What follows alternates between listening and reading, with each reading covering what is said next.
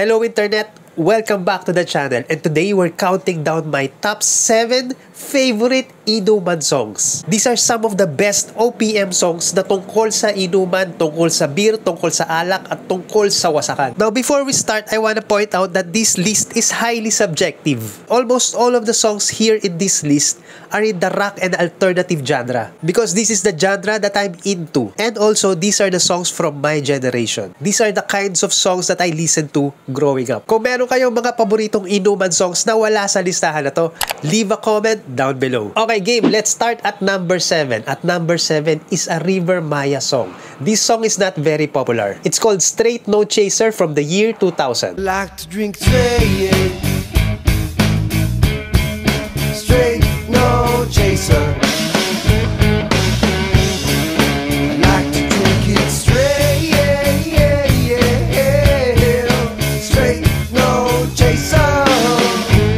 Siya sumikat at all, but it's one of my favorite funky songs from their album called Free. It doesn't really feel like a River Maya song because it's not sung by Rico Blanco or Bamboo. It was written and sung by Nathan Azarcon. Rock reggae ang tugtugan, hindi mabigat. Saktong head bobbing chill lang. And at number 6, we have a song called Isang Bote. Huwag magatubiling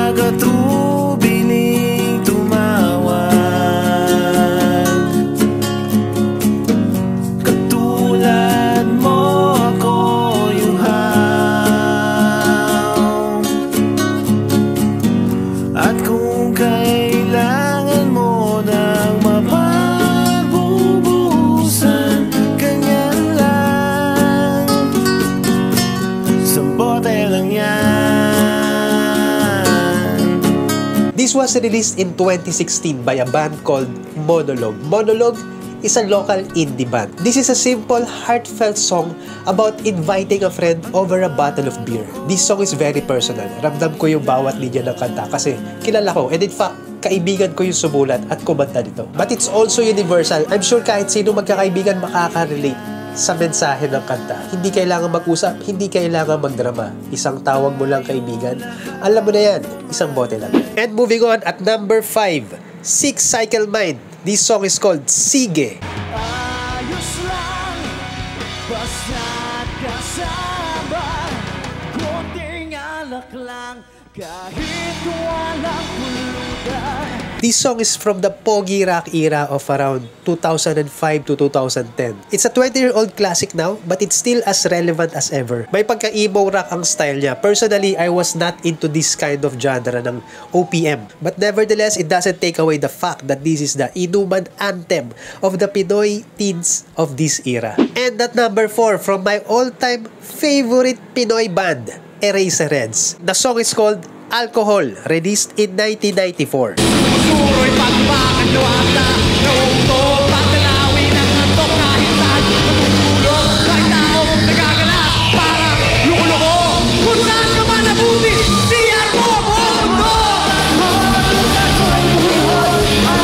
Now of course, alam naman natin na ang Eraserheads ay legendary na yan. Marami silang mga classic songs na masarap pakinggan habang nagiinuman. But they have this one obscure song about the dangers of alcohol. It's a very chaotic rock song and everything about it makes you really feel like you're drunk. If there's any one song that captures the feeling of being drunk, of pagiging lasing, ito na siguro yun. And now we're down to top 3. But before we continue, do me a favor, hit the like button down below. Thank you for doing that. I really appreciate it. So, at my top 3, if you want a straightforward emo inuman song, listen to Beer by the Itchy Worms. This song was released in 2006.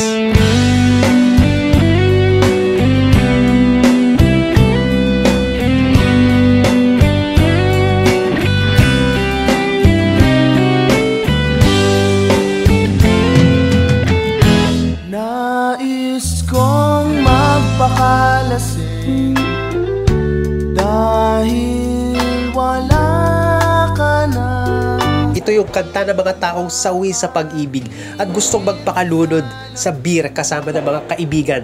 It's a fun song to scream together with the drunk crowd of friends. And it has that philosophical question sa dulo that makes you think about your life's choices. Ano ba talagang mas gusto ko? Ang beer na to o ang pag-ibig mo? At number 2, anong OPM song ang universal signal ng pagtigil ng trabaho? Sabay-sabay. Tama na yan, inuman na. Tama na yan, inuman na Hoy pare ko'y tumagay ka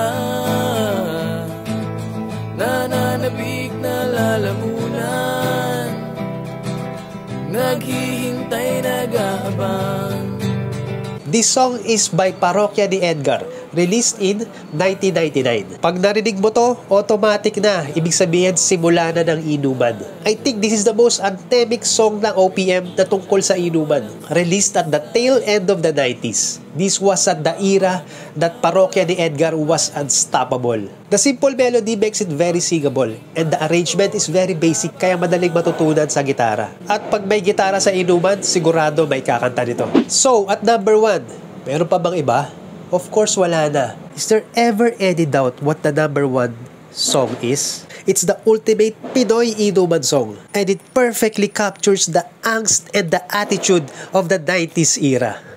At number one, we have Laklak by The Teeth. Nagsimula sa patikim-tikim Pinilit ko gustuhin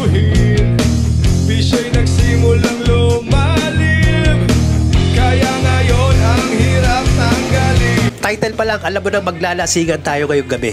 Hindi lang sip, hindi lang higop, kundi laklak.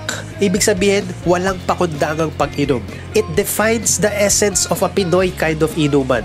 Wasakan, walwalan. The chorus itself is so iconic. I don't think there's a teenager in the 90s na hindi kabisado yung linyang ito. Kabilin-bilinan